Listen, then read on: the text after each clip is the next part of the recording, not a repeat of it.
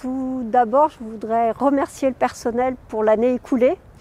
Euh, voilà, pour euh, son engagement dans cette année très particulière. Alors, le bilan que je dresse de cette année 2020, c'est une année euh, de mobilisation exceptionnelle pour faire face à cette crise sanitaire, une année particulière qui restera gravée, je pense, dans nos mémoires hospitalières, avec une mobilisation, un engagement de toutes nos équipes, bien évidemment des équipes des services cliniques,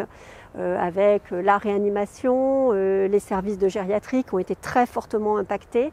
mais également des services techniques et logistiques, administratifs, et bien entendu euh, sur le site de Paul Brousse, le laboratoire de virologie, qui a été en première ligne pour le site et pour le GH.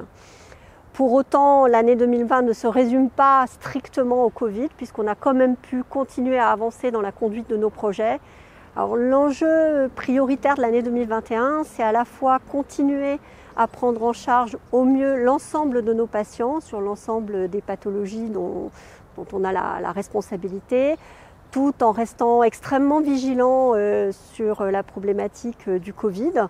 euh, avec la montée en charge de la vaccination pour nos files actives, par exemple pour les transplantés, et de poursuivre nos projets donc euh, la consolidation de la filière avec euh, la réouverture de lits de soins de suite et de réadaptation pour euh, les personnes âgées. Et évidemment pour l'année 2021, je peux souhaiter à tous les professionnels une année heureuse